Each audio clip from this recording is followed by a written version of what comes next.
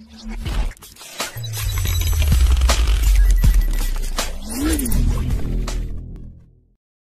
Guys എല്ലാവർക്കും ടെക്ടിക്സിന്റെ പുതിയൊരു വീഡിയോയിലേക്ക് സ്വാഗതം.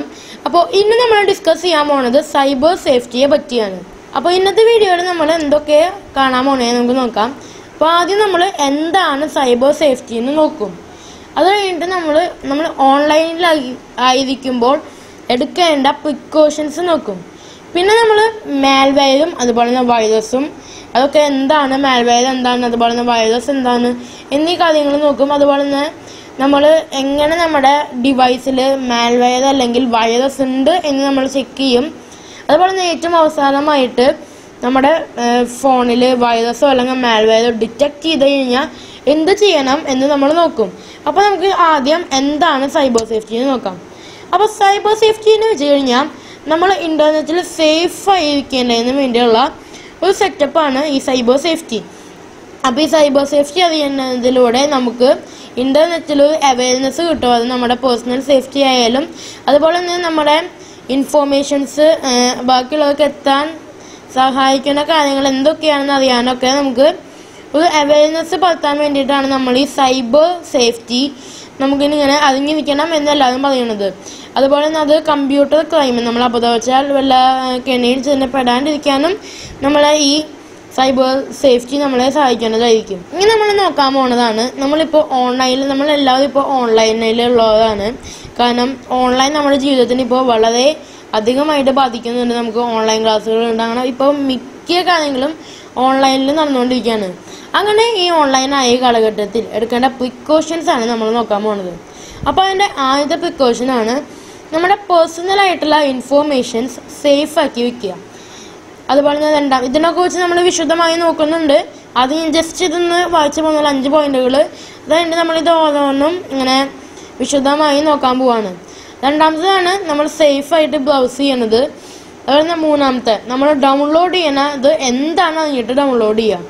നാലാമത്തെ ഭയങ്കര സ്ട്രോങ് പാസ്വേഡ് വയ്ക്കുക അഞ്ചാമത്തെ നമ്മൾ ഓൺലൈൻ പർച്ചേസ് ചെയ്യുമ്പോൾ അത് സെക്യൂർ ആയിട്ടുള്ള സൈറ്റിൽ നിന്ന് നമ്മൾ ഓൺലൈൻ ആയിട്ടുള്ള പർച്ചേസുകൾ നടത്താം നമ്മളിതിൽ ഓരോന്നും നമ്മൾ നോക്കി കാണാൻ പോവാണ്. അപ്പോൾ ആദ്യത്തെ പേഴ്സണൽ ഇൻഫോർമേഷൻ സേഫ് ആക്കി വയ്ക്കാൻ നമ്മൾ എന്ത് ചെയ്യണം എന്നാണ് നോക്കാൻ പോണത്. നമ്മളുടെ പേഴ്സണൽ ഇൻഫോർമേഷൻ ആണ് നമ്മുടെ ഫൈനാൻഷ്യൽ ഇൻഫോർമേഷൻ ആർക്കാണ് കിട്ടുന്നതെന്ന് നമ്മൾ അറിയണം. അത് അറിഞ്ഞില്ലെങ്കിൽ ചിലപ്പോൾ അതുപോലെ ഹാക്കേഴ്സിന്റെ ഒക്കെ എത്തിപ്പെടാൻ ചാൻസ് ഉണ്ട്. നമ്മുടെ പേഴ്സണൽ ഇൻഫോർമേഷൻ ഫോണിൽ കൂടെയോ അല്ലെങ്കിൽ മെയിലിൽ കൂടെയോ അല്ലെങ്കിൽ ഇന്റർനെറ്റിൽ കൂടെയോ ഒക്കെ ആളെ അറിയാണ്ട് നമ്മൾ കൊടുക്കാൻ പാടില്ല. ചിലപ്പോൾ അത് നമ്മുടെ ക്രെഡിറ്റ് കാർഡിന്റെ നമ്പർ ചോദിക്കും. അപ്പോൾ നമ്മളത് അടിച്ചു കൊടുത്തു കഴിഞ്ഞാൽ അവർക്ക് ആ ക്രെഡിറ്റ് കാർഡ് നമ്പർ അല്ലെങ്കിൽ അക്കൗണ്ടിന്റെ പാസ്വേഡ് അങ്ങനെയൊക്കെ അവർക്ക് കിട്ടാൻ ചാൻസ് ഉണ്ട്. അതുകൊണ്ട് നമ്മുടെ ബാങ്കിലുള്ള കാശ് എല്ലാം കുറയാനുള്ള ചാൻസ് ഉണ്ട് ഇപ്പം നമുക്ക് ഒരു മെസ്സേജ് കിട്ടി കമ്പനിയിൽ നിന്ന് അത് നിങ്ങളുടെ അക്കൗണ്ടിൽ നിന്ന് കുറിച്ച് വല്ല മെസ്സേജ് കിട്ടി. എന്നിട്ട് പേഴ്സണൽ ഇൻഫോർമേഷൻ അയക്കാൻ ഒരു ലിങ്ക് അയച്ചു തന്നു കഴിഞ്ഞാൽ നമ്മളതിനെ ഓടിച്ചെന്ന് ക്ലിക്ക് ചെയ്യാൻ നിൽക്കരുത് ആദ്യം നിങ്ങൾ ചെയ്യേണ്ടത് ഒന്നെങ്കിൽ നമ്മൾ ബ്രൗസ് ചെയ്തിട്ട് കറക്റ്റ് ആ സൈറ്റിലേക്ക് പോയിട്ട് കണ്ടുപിടിക്കുക. അല്ലെങ്കിൽ കസ്റ്റമർ സർവീസൊക്കെ ഇപ്പോൾ എല്ലാ ബാങ്കുകളിലും അതുപോലെ തന്നെ ഇപ്പോൾ എല്ലാ കാര്യത്തിലും ഇപ്പോൾ കസ്റ്റമർ സർവീസ് ഉണ്ട്. അപ്പോൾ ഈ കസ്റ്റമർ സർവീസിൽ പോയിട്ട് വിളിച്ച് ചോദിക്കുക. അത് ഇങ്ങനെ ഒരു മെസ്സേജ് വന്നു. ഇത് ബാങ്കുകാർ അല്ലെങ്കിൽ ആ ആൾക്കാർ തന്നെ അയച്ചതാണോ? അതോ വേറെ ആരെങ്കിലും അയച്ചതാണോ?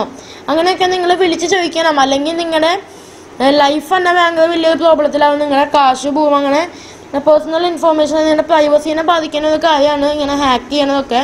പിന്നെ അത് മെയിൽ റിസീവ് ചെയ്യുകയാണെങ്കിൽ ഞാൻ പറഞ്ഞ പോലെ നിങ്ങൾ ചെയ്യാനായി ശ്രദ്ധിക്കുക.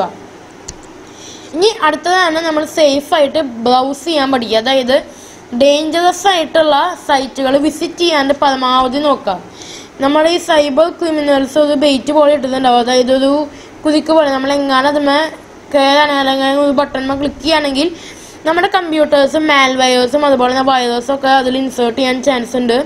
അങ്ങനെ ഹാക്ക് ചെയ്യാനും ചാൻസ് ഉണ്ട്. അതുകൊണ്ട് നമ്മൾ എപ്പോൾ നോക്കിയാലും സേഫായിട്ട് ബ്രൗസ് ചെയ്യാൻ പഠിക്കുക. അല്ലാണ്ട് ഹാക്കേഴ്സിന് ഒരു ചാൻസും കൊടുക്കരുത് നമ്മുടെ ബ്രൗസിങ് ഡാറ്റ കിട്ടാനും അങ്ങനത്തെ ഒരു ചാൻസ് നമ്മൾ കൊടുക്കാൻ പാടില്ല. ഇനി അടുത്തത്.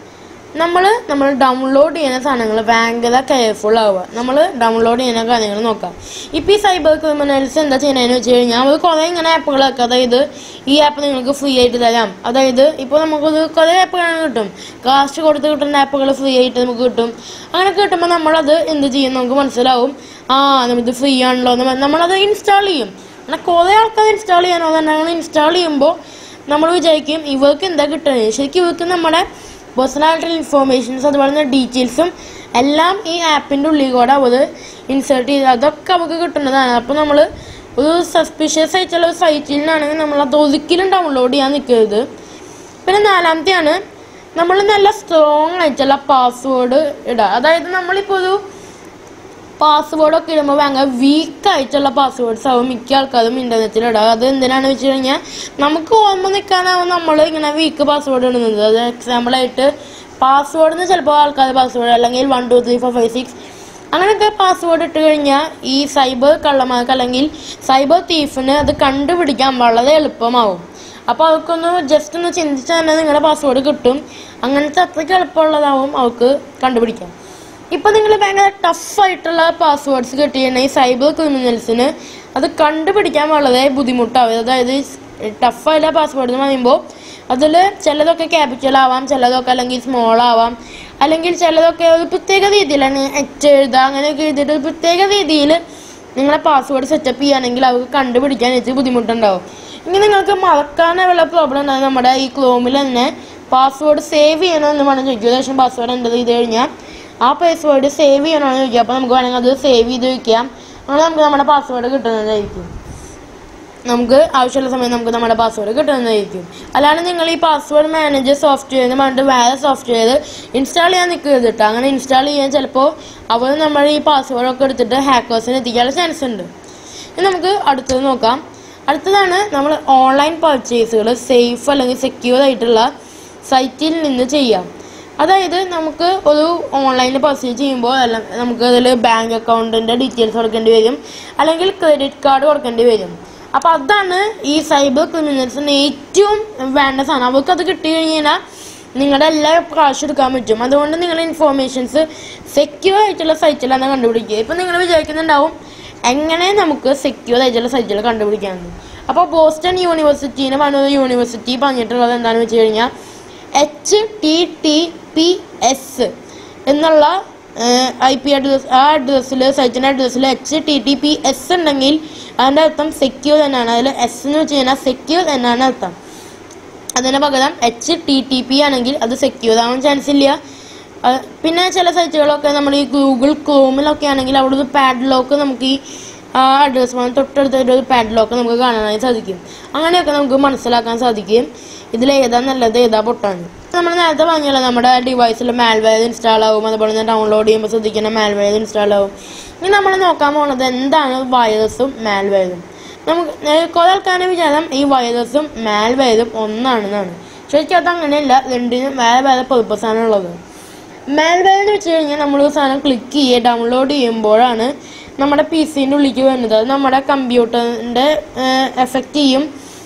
അതുപോലെ തന്നെ മാൽവെയർ ചിലപ്പോൾ അതൊരു വൈറസ് ആവും. അല്ലെങ്കിൽ അതൊരു ട്രോജനാവും അല്ലെങ്കിൽ അത് വോമാവും അത് ഏത് വേണമെങ്കിലും ആവാം നമുക്ക് കണ്ടുപിടിക്കാൻ പറ്റില്ല ഈ മാൽവെയർ എന്താണെന്ന്. അത് ചിലപ്പോൾ ഒരു വൈറസ് തന്നെ ആവാം അല്ലെങ്കിൽ അത് വോമാവാം ട്രോജനാവാം അങ്ങനെ ധാരാളം കണക്കിന് സാധനങ്ങൾ ഈ മാൽവെയർ ആവാം. പക്ഷേ അത് നമ്മുടെ കമ്പ്യൂട്ടറിനെ ഡിസ്റ്റർബ് ചെയ്യും ഡാമേജ് ചെയ്യും. അതാണ് ഈ മാൽവെയർ ഇനി എന്താ വൈറസ് നോക്കാം.